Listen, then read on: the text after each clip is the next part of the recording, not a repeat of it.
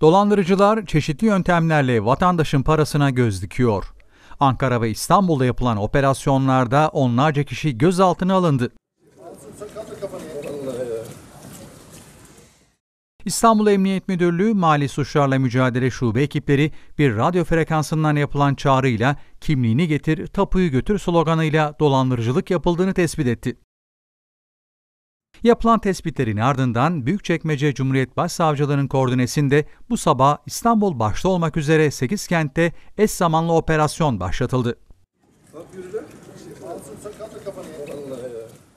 Operasyonda yaklaşık 100 vatandaşı ev satma bahanesiyle dolandırdıkları tespit edilen 41 şüpheliye yönelik operasyonlarda çok sayıda şebeke üyesi yakalandı. İstanbul'daki bir başka operasyonda ise vatandaşı FETÖ tehdidiyle dolandıran şebeke çökertildi. İstanbul Kadıköy'de ise FETÖ tarafından hesabınız ele geçirildi diyerek bir kişiyi dolandırmaya çalışan şüphelilerden biri bankada, diğeri ise parayı almak için geldiği sırada ev sahibine saldırınca polis tarafından bacağından vurularak yakalandı.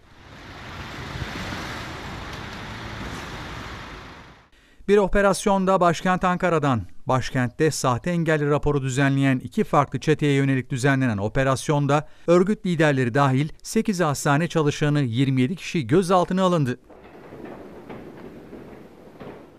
Çetenin günümüze kadar devleti 2,5 milyon lira zarara uğrattıkları tespit edildi. Hastane çalışanlarının bu örgütlere sahte rapor almada yardımcı oldukları belirtildi.